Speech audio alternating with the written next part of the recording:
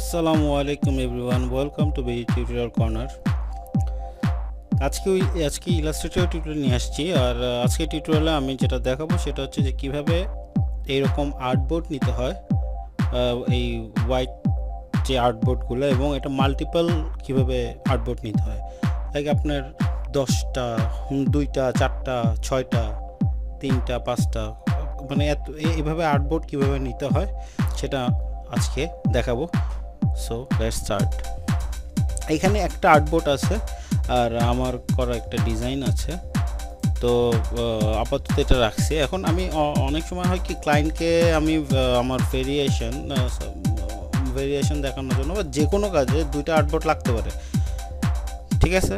So দুইটা artboard যদি, যে মানে যদি লাগে, তখন আমি কীভাবে আর্টবোর্ড নিব? খুব সিম্পল নিউ ডকুমেন্ট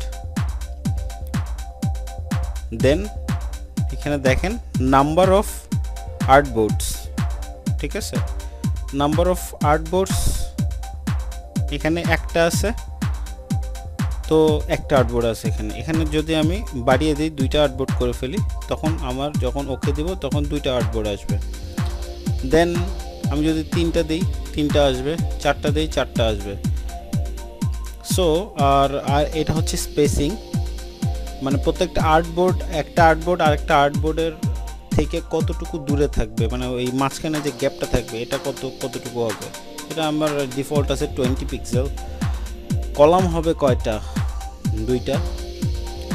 এখানে আপনি কলাম আরও বাড়ায় দিতে পারেন। এই যে, এই অপশনটা বলতে হচ্ছে গ্রিড বাই রো মানে হচ্ছে আপনার এভাবে দুইটা যাবে দেন আবার নিচের লাইনে চলে আসবে, এভাবে দুইটা যাবে, তারপর আবার নিচের লাইনে চলে আসবে, এভাবে। এভাবে হচ্ছে এভাবে। মানে এটা আপনি ঘাটাঘাটি করে দেখে নিন কোনটা কী, কীরকম। আপনি যদি সব এক সিরিয়ালে রাখতে চান লাইক এখানে একটা আর্টবোর্ড পাশে আর একটা আর্টবোর্ড পাশে আর একটা আর্টবোর্ড সেক্ষেত্রে আপনি এটা ক্লিক করলেই হবে।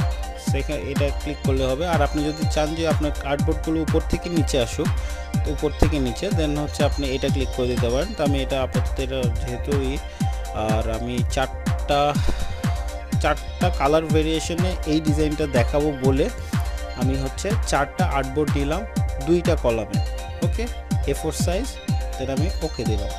চারটা আর্টবোর্ড চলে আসবে আচ্ছা এখন সাপোজ আপনি আর্টবোর্ড নিয়ে নিয়েছেন আপনি কাজটা শুরু করে দিয়েছেন আপনার আরেকটা আর্টবোর্ড দরকার। সেক্ষেত্রে আপনি কি করবেন? সেক্ষেত্রে খুবই সিম্পল আপনি আর্টবোর্ড টুল ক্লিক করবেন।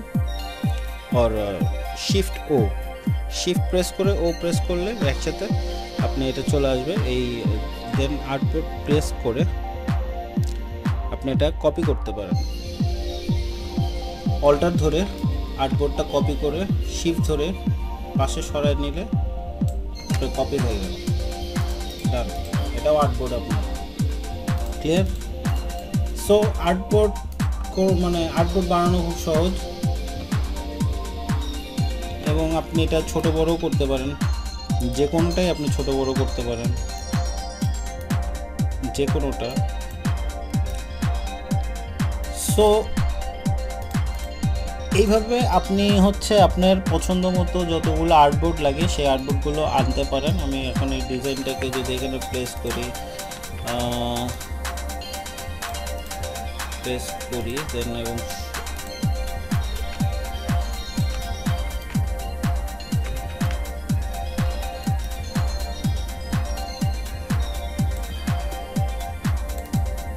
দিলাম ব্ল্যাক কালার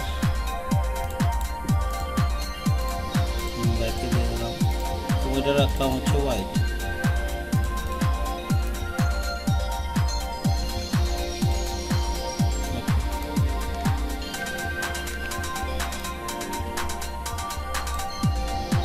এটা রাখলাম হচ্ছে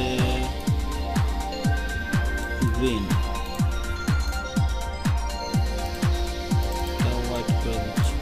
সো এইভাবে করে আর কি আপনি বিভিন্ন কালারের ভেরিয়েশন মানে যে কোনো ক্ষেত্রে এই জিনিসটা করতে পারেন আপনি। মানে মাল্টিপল আর্টবোর্ড ইউজ করতে পারেন। সো এটাই আপাতত আজকে টিউটোরিয়াল ছিল। আমি আবারও আরেকবার একটু রিভাইজ করি। সেটা হচ্ছে, আপনি ফার্স্টে ফাইলে গিয়ে নিউ দেন হচ্ছে এখানে একটা থাকে নর্মালি নাম্বার অফ আর্টবোর্ড সেটা আপনি হচ্ছে আপনার যতগুলো আর্টবোর্ড লাগে ততগুলো আপনি সিলেক্ট করবেন। সাইজ আপনি এই পেজের সাইজ যেটা নেবেন সেটা সিলেক্ট করবেন দেন হচ্ছে কোন ফরম্যাটে আপনি এটা রাখতে চাচ্ছেন অ্যালাইন অ্যালাইন করতে চাচ্ছেন বা অ্যারেঞ্জ করতে চাচ্ছেন সেটা লিখবেন। দেন এখানে আপনি এভাবে যদি দেন তাহলে রোর কতগুলো হবে সেটা দিবেন, আর এভাবে যদি থাকে তাহলে হচ্ছে কলাম কতগুলো হবে সেটা সেটা আপনি সিলেক্ট করে দিবেন। দেন আপনি অ্যাজ ইউজুয়াল ওকে প্রেস করলে আপনার এটা চলে আসবে। সো এই ছিল আজকে tutorial thank you so much সেই টিউটোরিয়ালটা যদি আপনাদের হেল্প করে থাকে প্লিজ কমেন্টে আমাদেরকে জানান এবং ভিডিওটিতে লাইক করেন। সাবস্ক্রাইব করেন এবং আরও যদি কোনো প্রবলেম থাকে বা আমাদের যদি কোনো ভুল হয়ে থাকে সেটা আমাদের কমেন্টে জানান এবং নেক্সট কী কী ধরনের টিউটোরিয়াল আপনার প্রয়োজন সেই জিনিসগুলো আমাদেরকে কমেন্টে জানান। আশা করি আমরা সর্বোচ্চ চেষ্টা করব আপনাকে সেই টিউটোরিয়াল দেওয়ার জন্য। সবাইকে ধন্যবাদ। আজকে টিউটোরিয়াল এখানেই শেষ করছি। আসসালামু আলাইকুম। বিদায়।